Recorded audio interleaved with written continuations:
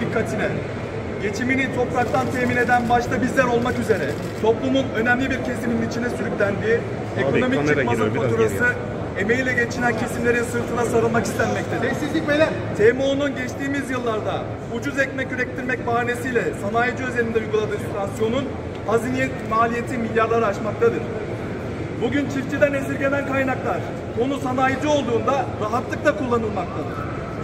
Plansız, sorumsuz, vicdansız ithalat politikaları ve tarımsal girdi fiyatlarının aşırı yükselişi yerli üreticinin yaşadığı dar boğazın sebeplerinden biridir.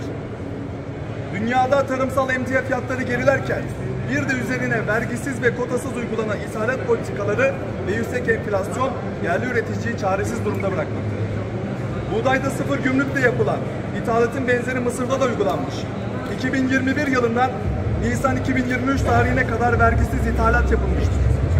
Bildiğimiz üzere TMO 2022 mısır müdahale fiyatını kilogram başına 5.70 olarak belirlemişti.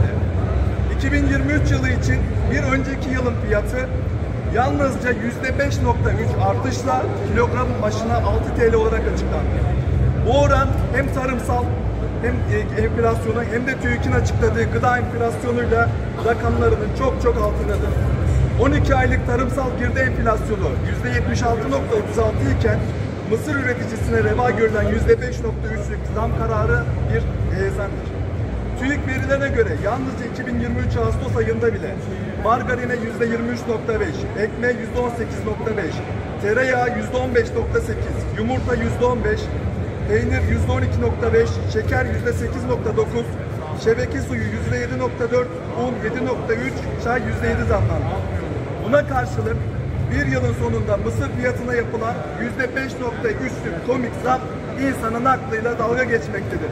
Bu fiyatı biz çiftçiler olarak kabul etmemiz mümkün değildir. Buradan yetkililere sesleniyoruz. Bıçak yemeğe dayandı artık. Çiftçi dayanma direncini kaybetti. Telafisi olmayan uzun yıllar çiftçiyi mağdur edecek bu yanlıştan aceleyle dönülmesi gerekmektedir. Bizler ürettiğimiz için cezalandırılmak istemiyoruz. Biz lütuf değil hakkımızı istiyoruz. Bu hepimizin ortak çağrısıdır. 80 milyonu doyuran çiftçilerin ekmeğiyle oynamayın. Teşekkür. Helal.